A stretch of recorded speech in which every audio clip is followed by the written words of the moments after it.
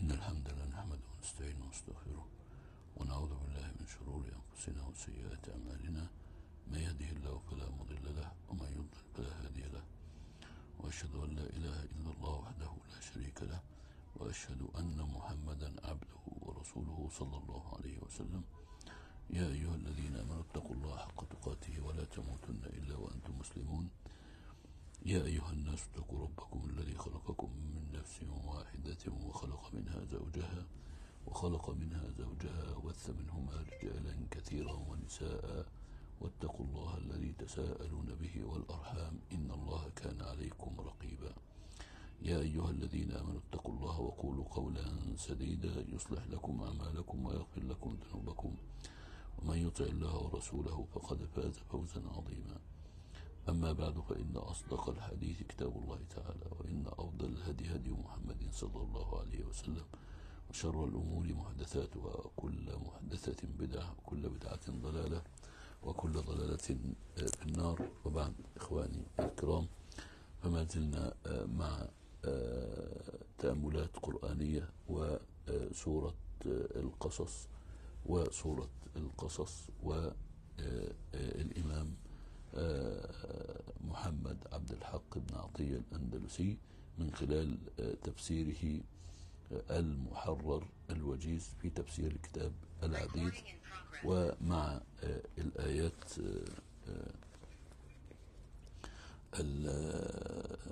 السادسة والسبعون والسابعة والسبعون والثامنة والسبعون. وهي قول الله عز وجل إن قارون كان من قوم موسى فبغى عليهم وآتيناه من الكنوز ما إن مفاتحه لتنوء بالعصبة أولي القوة. إذ قال له قومه لا تفرح إن الله لا يحب الفرحين. وابتغ فيما آتاك الله الدار الآخرة ولا تنس نصيبك من الدنيا وأحسن كما أحسن الله إليك. ولا تبغ الفساد في الأرض. إن الله لا يحب المفسدين. قال إنما أوتيته على علم عندي. أولم يعلم أن الله قد أهلك من قبله من القرون من هو أشد منه قوة وأكثر جمعا. ولا يسأل, ولا يسأل عن ذنوبهم المجرمين يقول كنا قد توقفنا بالأمس عند قول الإمام في شأن قارون قال الإمام القاضي أبو محمد رحمه الله وأكثر المفسرون وأكثر المفسرون في شأن قارون فروي عن خيثمة أنه قال نجد في الإنجيل مكتوبا إن مفاتيح قارون كانت من جلود الإبل وكان المفتاح من نصف شبر وكانت يعني وقر ستين بعلا حمل أو بعيرا لكل مفتاح كنز.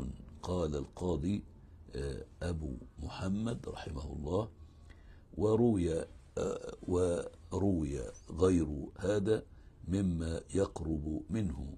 ذلك كله ضعيف. والنظر يشهد بفساد هذا. يعني ومن كان الذي يميز بعضها من بعض. وما الداعي لهذا؟ وفي الممكن أن ترجع كلها إلى ما يحصى ويقدر على حمله بسهولة.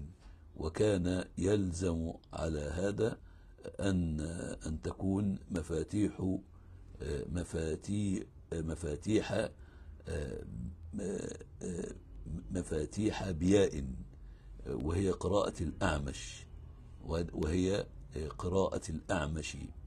والذي يشبه هو إما أن تكون المفاتيح من الحديد ونحوه وعلى هذا تنوء بالعصبة إذا كانت كثيرة لكثرة مخازنه أو تكون المفاتيح الخزائن أي أن تكون المفاتيح يعني الخزائن. آه، قال أبو صالح كانت خزائنه تحمل على أربعين بغلا. واضح؟ آه، وأما قوله تنوء فمعناه تنهض. يعني بتحامل. وما ومن ذلك قوله قول الشاعر آه، يصف آه، راميا حتى إذا ما التأمت مفاصله وناء في شق الشمال كاهله. والوجه أن يقال إن العصبة يعني تنوء بالمفاتيح. المثقلة لها. وكذلك قال كثير من المتأولين إن المراد هذا لكنه قلب كما تفعل العرب كثيرا فمن ذلك قول الشاعر فديت فديت بنفسه فديت بنفسه نفسي ومالي وما ألوك إلا ما أطيق. فديت نفس فديت بنفسه نفسي ومالي وما ألوك إلا ما أطيق. فديت بنفسه نفسي ومالي وما ألوك إلا ما أطيق. وقول الآخر إخواني الكرام وتركب خيلا لا هوادة بينها وتشقى الرماح آه، بالضياطرة الحمر. واضح؟ وهذا البيت لا حجة فيه إذ يتجه على وجهه فتأمله ومن ذلك آه، قول آخر ما كنت في في الحرب العواني آه، مغمرا إذا شب حر وقودها أجذالها. يعني وقال آه، سيبويه والخيل يعني آه، التقدير لت لا لا لا لا تنيء العصبة. فجعل بدل ذلك تعدية الفعل بحرف الجر كما تقول ناء الحمل وأنأته وأنأته. آه واضح؟ ونوئت آه به آه، بمعنى جعلته ينوء. والعرب تقول ناء الحمل بالبعير إذا أثقله. ناء الحمل آه، بالبعير إذا أثقله. يعني واضح إخواني؟ قال القاضي أبو محمد رحمه الله ويحتمل. يعني واضح؟ يعني ويحتمل إخواني الكرام آه, آه ويحتمل أن يسند تنوء إلى المفاتيح مجازا لأنها تنهض بتحامل بتحامل إذا فعل ذلك الذي ينهض بها. وهذا مضطرد في قولهم ناء الحمل بالبعير ونحوه فتأمله. يعني واضح؟ واختلف إخواني الكرام الناس في العصبة كم هي؟ واضح. فقال ابن عباس رضي الله عنه عنهما ثلاثة. وقال قتادة العصبة من العشرة إلى الأربعين. قال مجاهد خمسة عشر وقيل أحد عشر حملا على إخوة يوسف. وقيل أربعون وقال يعني آه، بديل بن ميسرة آه، لا ينوء بالياء آه، يعني لا ينوء بالياء. وجهها ووجه ووجه ووجهها أبو الفتح على أنه يقرأ مفاتيحه جمعا. وذكر أبو عمرو الداني أن بديء أن بديل ابن ميسرة قرأ ما إن مفاتحه على الإفراد مفا ما إن مفتاحه على الإفراد فيستغنى على توجيه توجيه أبي الفتح.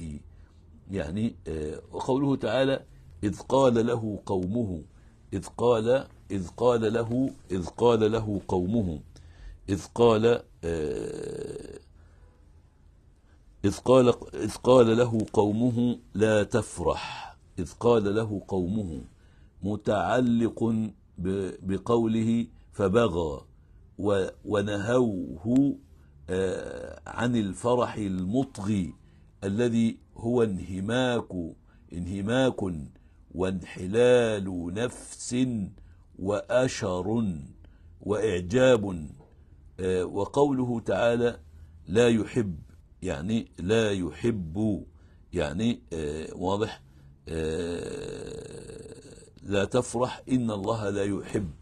في هذا الموضع آه، صفة فعل آه، لأنه أمر قد وقع فمحال أن يرجع أن يرجع إلى الإرادة وإنما هو لا يظهر عليهم آه، بركته ولا يهب ولا يهبهم رحمته ثم وصوه بأن يطلب أن يطلب بماله رضا الله آه، وآخرته. وقوله تعالى ولا تنس نصيبك من الدنيا ولا تنس نصيبك من الدنيا. اختلف المتأولون فيه اختلف المتأولون فيه. فقال ابن عباس رضي الله عنهما والجمهور يعني معناه لا تضيع عمرك في آه، ألا تعمل يعني آه، عمل عملا صالحا في دنياك يعني ولا تنس نصيبك من الدنيا يعني اختلف المتأولون فيه. فقال ابن عباس رضي الله عنهما والجمهور معناه لا تضيع عمرك في ألا تعمل عملا صالحا في دنياك إذ الآخرة إنما يعمل لها في الدنيا فنصيب الإنسان آه، عمره وعمله يعني الصالح. فينبغي ألا تهمله. قال القاضي أبو محمد آه، رحمه الله آه، رحمه الله. قال القاضي أبو محمد رحمه الله. فالكلام كله على هذا التأويل يعني الكلام كله على هذا آه، التأويل يعني آه، شدة في الموعظة آه، شدة آه، في الموعظة شدة في الموعظة. وقال الحسن وقتادة معناه ولا تضيع حظك أيضا من دنياك في تمتعك بالحلال وطلبك إياه ونظرك إلى عاقبة دنياك. يعني قال القاضي أبو محمد رحمه الله فالكلام آه، قال القاضي أبو محمد آه، رحمه الله فالكلام على هذا التأويل هو في في الرفق به واضح؟ آه، وإصلاح الأمر الذي يشتهيه وهذا مما يجب استعمال استعماله مع الموعوظ خشية يعني النبوة من الشدة. يعني وقال الحسن معناه آه، قدم الفضل وأمسك آه، ما تبلغ به آه، وقال مالك هو الأكل والشرب والشرب بلا سرف. وحكى الثعلبي أنه قيل أرادوا بنصيبه الكفن.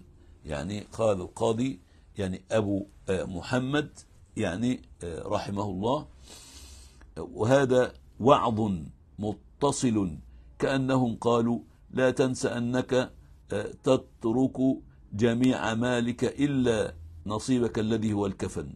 لا تنسى أنك تترك, جميع مالك إلا نصيبك الذي هو الكفن. يعني ونحو هذا قال الشاعر يعني نصيبك مما تجمع آه، الدهر كله رداءان. يعني آه، تلوى فيهما وحنوط. نصيبك مما تجمع. مما تجمع آه، الدهر كله آه، رداءان. تلوى فيهما وحنوط. واضح إخواني؟ وقوله وأحسن كما أحسن الله إليك. وأحسن كما أحسن الله إليك. يعني آه، أمر بصلة المساكين وذوي الحاجة آه، آه، وذوي الحاجة وباقي الآ- الآية بين كما يقول أي إن الله لا يحب ال- المفسدين. البين يعني واضح إخواني بين. ثم ننتقل إلى الآية التي تليها وهي الثامنة والسبعون قال إنما أوتيته على علم عندي. قال إنما أوتيته على علم عندي. أولم يعلم أن الله آه، يعني آه، قد أهلك من قبله من القرون. من هو أشد منه قوة وأكثر جمعا ولا يسأل عن ذنوبهم المجرمون. آه، واضح؟ ولا يسأل عن ذنوبهم المجرمون. فيقول الإمام آه، أبو محمد يعني آه، القائل اللي هو قارون يعني آه، لما وعظه قومه إخواني وندب وندبوه إلى اتقاء الله تعالى في المال الذي في اتقاء الله تعالى في المال الذي أعطاه يعني تفضلا منه عليه. أخذته العزة أخذته العزة بالإثم ويعني فأعجب بنفسه. أخذته العزة بالإثم فأعجب بنفسه. وقال آه، لهم على آه، يعني آه، جهة الرد عليهم والروغان عما ألزموه فيه. إنما أوتيته على علم عندي. ولكلامه في هذا وجهان يحملهما وبكل واحد منهما قالت فرقة من المفسرين. فقال الجمهور الجمهور منهم إنه ادعى أن عنده علم استوجب به أن يكون ذلك النعيم له وكذلك المال. ثم اختلفوا في العلم الذي أشار إليه ما هو. فقال بعضهم علم التوراة وحفظها قا- وقالوا وكانت آه، وكانت هذه مغالطة مغالطة ورياء. وقال أبو سليمان الداراني أراد يعني العلم بالتجارات ووجوه آه، تمييز المال آه، فكأنه قال أوتيته بإدراكي يعني وبسعي. وقال ابن المسيب ابن المسيب أراد علم الكيمياء. وقال ابن زيد وغيره إنما أراد آه، يعني أوتيته على علم آه، من الله تعالى وتخصيص من لدنه فقصدني قصدني به فلا يلزم فلا يلزمني فيه شيء آه، مما قلتم.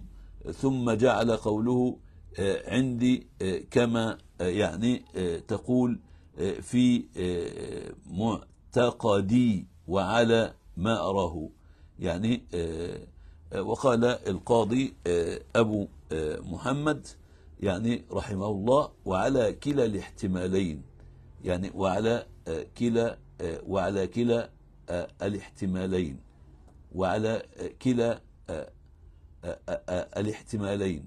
وعلى كلا الاحتمالين. واضح إخواني؟ معا فقد نبه القرآن على خطئه في اعتراء في اغتراره وعارض آه، وعارض آه، من زع من زعه بأن آه، من معلومات الناس المتحققة عندهم أن الله تعالى يعني أن الله تعالى قد أهلك. أن الله تعالى قد أهلك من الأمم والقرون والملوك يعني من هو أشد من قارون قوة وأكثر جمعا إما آه، للمال أو للحاشية آه، وقوله آه، أولم يعلم وقوله تعالى أولم يعلم يرجح أن قارون تشبع بعلم نفسه على زعمه. وقوله وقوله تعالى ولا يسأل عن ذنوبهم المجرمون ولا يسأل عن ذنوبهم المجرمين المجرمون. يا إخواني؟ آه قال محمد ابن كعب هو كلام متصل يعني بمعنى هو كلام متصل بمعنى ما قبله والضمير في ذنوبهم عائد على من أهلك من القرون أي أهلكوا ولم يسأل غيرهم بعدهم عن ذنوبهم. أي كل أحد إنما يسأل ويعاقب بحسب ما يخصه. وقالت فرقة هو إخبار مستأنف عن حالهم يوم القيامة. معناه إن المجرمين لا يسألون عن ذنوبهم أي أن الملائكة يعني لا تسأل عن ذنوبهم وإن لأنهم يعرفونها بسيماهم من السواد والتشويه ونحو ذلك ونحو ذلك إخواني الكرام. ونحو ذلك قوله تبارك وتعالى يعرف المجرمون بسيماهم. واضح؟ يعني وقال القاضي أبو محمد وفي آيات الله ما يقتضي أن الناس يوم القيامة يسألون كقوله تعالى وقفوهم إنهم مسؤولون. وغير ذلك وفيه آيات تقتضي أنه, أنه لا يسأل أحد كقوله تعالى فيومئذ لا يسأل عن عن ذنبه إنس ولا جان. وغير ذلك ويمكن أن تكون الآيات التي توجب السؤال إنما يريد بها أسئلة التوبيخ والتقرير والذي ينفيه يعني يراد به أسئلة الاستفهام على وجه الحاجة إلى علم ذلك من المسؤولين. أي إن ذلك لا يقع لأن العلم بهم محيط وسؤال التوبيخ غير معتد به غير معتد غير معتد به.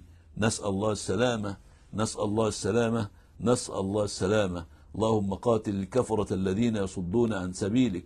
اللهم قاتل الكفرة الذين يصدون عن سبيلك. ويكذبون رسلك ولا يؤمنون بوعدك. وخالف بين كلمتهم. وألق في قلوبهم الرعب. وألق عليهم رجزك وعذابك إله الحق. اللهم منزل الكتاب ومجري السحاب وهادم الأحزاب. اهزمهم وانصرنا اهزمهم وانصرنا عليهم. اللهم كن لإخواننا المستضعفين في غزة. اللهم سدد رميهم وقو عزائمهم وثبت أقدامهم واربط على قلوبهم. اللهم فرج همهم ونفذ كربهم وعافي مبتلاهم وتقبل موتاهم في الشهداء وتقبل موتاهم في الشهداء. اللهم إكس عاريهم وأطعم جائعهم. اللهم أبدل خوفهم أمنا وارزقهم الأمن والأمان في ديارهم. اللهم احقن دماءهم. اللهم اجدد وطأتك على اليهود الصهاينة المجرمين. شتت شملهم وفرق جمعهم. ورد كيدهم إلى نحورهم. واجعل الدائرة تدور عليهم.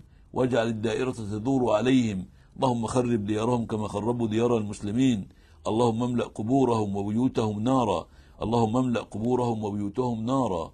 اللهم اجد اللهم إنهم قد عثوا في الأرض الفساد فسفكوا الدماء وهتكوا الأعراض فأنزل بهم بأسك الذي لا يرد عن القوم المجرمين أنزل عليهم صاعقة من السماء.